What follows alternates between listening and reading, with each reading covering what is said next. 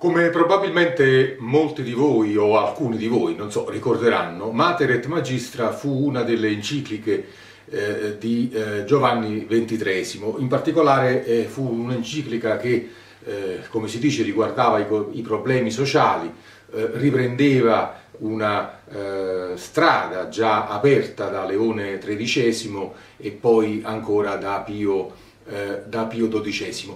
Eh, questa enciclica è del 15 maggio del 1961 e tra le altre cose eh, si, di, eh, sotto, si preoccupa di sottolineare l'importanza della solidarietà, del, eh, del, rispetto degli altri, eccetera.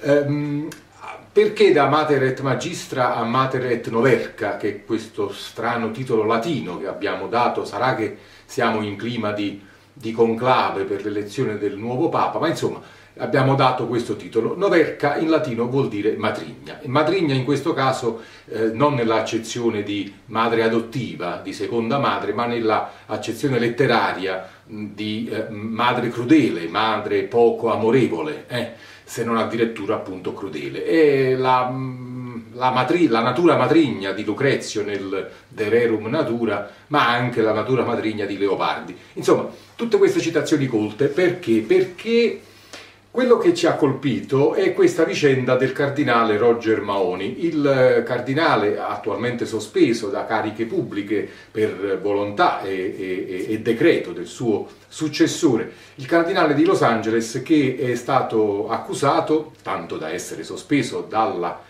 dalle autorità della Chiesa, quindi non dai tribunali laici che potrebbero essere sospettati, per dirla alla Berlusconi, di comunismo, ehm, è stato sospeso perché è ritenuto responsabile di aver eh, coperto quantomeno, se non eh, sul fatto che sia direttamente responsabile, eh, molto, si, si, discute molto, ma certamente insomma, ha coperto dei casi di pedofilia nella Chiesa, nel senso cioè che invece di incidere in maniera ehm, diciamo, eh, evidente su, sui responsabili di questi casi, si è limitato a spostare i sacerdoti da una diocesi all'altra per eh, soffocare gli scandali. Sta di fatto che eh, per colpa delle, del comportamento de, del, de, del, cardinale Maoni, adesso arcivescovo emerito di Los Angeles, e del suo, eh, del suo vice, insomma, di fatto il suo vice, eh, Kerry, eh, la Chiesa americana ha patteggiato con circa 500 vittime di abusi sessuali su minori un risarcimento di eh, quasi 660 milioni di dollari. Il cardinale Maone, essendo cardinale, ha tutto il diritto eh, di eh, partecipare al conclave, cioè eh, nonostante la Chiesa abbia preso dei provvedimenti nei suoi confronti, non ha perso né l'elettorato passivo né il cosiddetto elettorato attivo, che vuol dire in gergo tecnico, vuol dire che può votare e anche essere votato. E, paradossalmente potremmo avere il prossimo Papa eh, diciamo così, mm, pedofilo, insomma, o comunque amico o in ogni caso tollerante. Ecco, va, non vogliamo essere querelati anche dal Papa eh, prossimo o, o, o quasi. E, e, mm, amico dei pedofili, insomma, tollerante verso, verso i pedofili. E, ovviamente questo ha suscitato reazioni di comunità cattoliche, soprattutto americane, ma ha suscitato meno reazioni, eh, mm, se non un po' vaghe, eh, della comunità cattolica italiana. Sebbene eh, Famiglia Cristiana abbia lanciato un sondaggio, sei favorevoli o contrari, queste, questi sondaggi demagogici del cavolo, pare che se la gente dice sono favorevole, poi il cardinale va o non va, insomma, lascia il tempo che trova. Bisognerebbe che la Chiesa la, la prendesse posizione. Mm. E d'altro canto il Papa, al di là di tutte le chiacchiere che si sono dette, qualcuno quando si è, ha annunciato sue, il suo ritiro, eh, dal, dal, pontificato ha anche detto che è vittima di ricatti per questa sua eh, attività eh, diciamo contro la pedofilia, che ufficialmente il Papa, Papa Ratzinger, Papa Benedetto XVI si è eh, dato molto da fare contro la pedofilia. E a questo proposito anzi va detto che una delle eh, uno dei rammarichi eh, del cardinale Maone è che lui si sente umiliato, lo ha scritto anche sul suo blog, perché ormai come i, i, i, cardinali, specialmente quelli americani, hanno i blog come Beppe Grillo, ma comunque ha scritto sul suo blog che lui è stato oggetto in questi ultimi giorni di molte umiliazioni e prega il Signore, insomma, porge l'altra guancia, d'altronde essendo cardinale, certo non può andare in giro a sparare come fanno gli studenti nei collegi americani e quindi insomma dice che lui porge l'altra guancia perché si sente sereno, in pace col Signore, vabbè. Eh, il punto qual è? Il punto è che eh, mh, eh, proprio esplicitamente il cardinale Paoli è accusato di aver insabbiato sostanzialmente 129 casi di abusi sessuali su minori, volgarmente detti pedofilia. Vabbè. Ora, eh, che cosa fa la Chiesa concretamente per dare un segnale al di là delle parole? Perché Ratzinger ha parlato a lungo nel corso del suo breve ma intenso pontificato eh, sul problema della pedofilia. Che cosa fa per dare significato, concretezza a queste parole la Chiesa? A queste parole del suo ex papa, poi difficile, non sanno neanche bene che cosa farne di questo papa adesso, non, perché è capitato, è la prima volta che capita in tempi moderni, che hanno un papa che non è più papa ma che non può essere retrocesso a fare il parroco di campagna, ma eh, vabbè, questo lasciamo stare.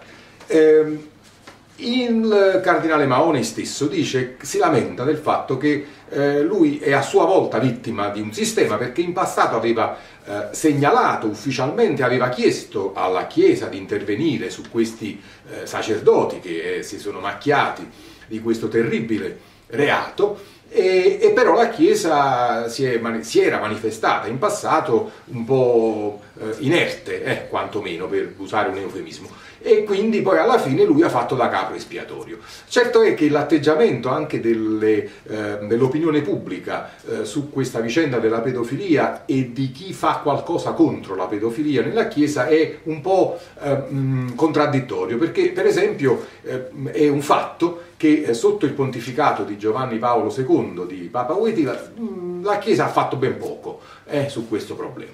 Eh, ha fatto invece di più, oggettivamente, va detto, eh, sotto il pontificato di Benedetto XVI, di Papa Ratzinger.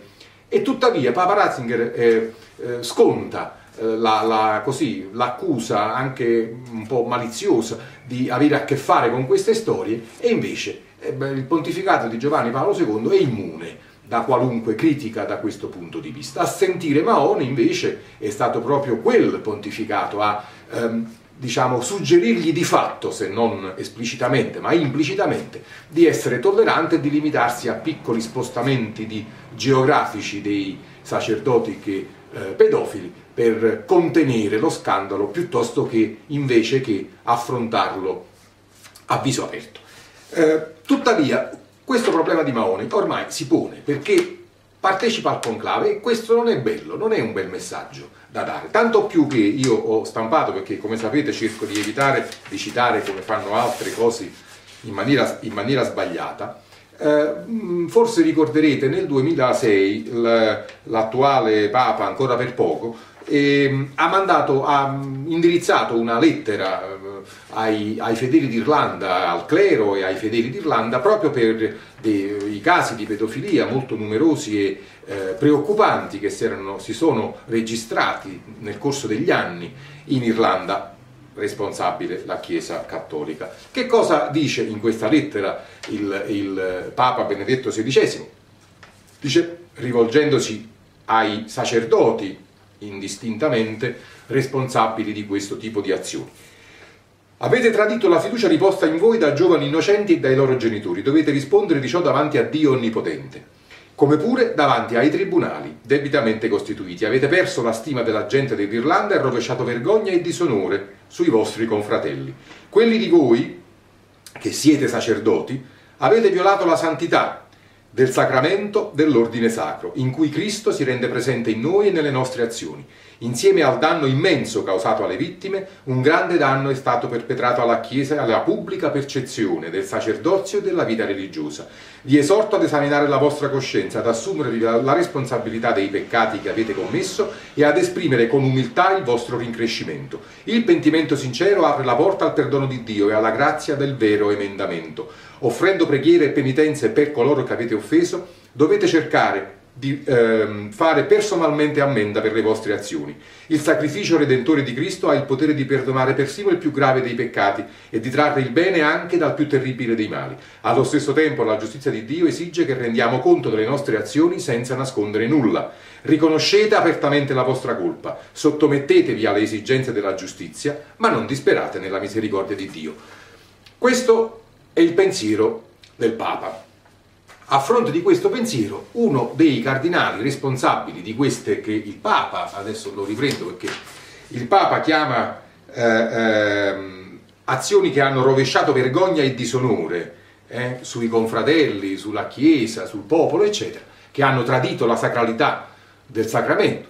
Su questo che il Papa definisce in questo modo, eh, adesso pesa un'ombra, perché una persona responsabile di queste cose dichiaratamente per documenti responsabile di queste cose, viene a Roma a votare in conclave e ad essere votato anche in teoria.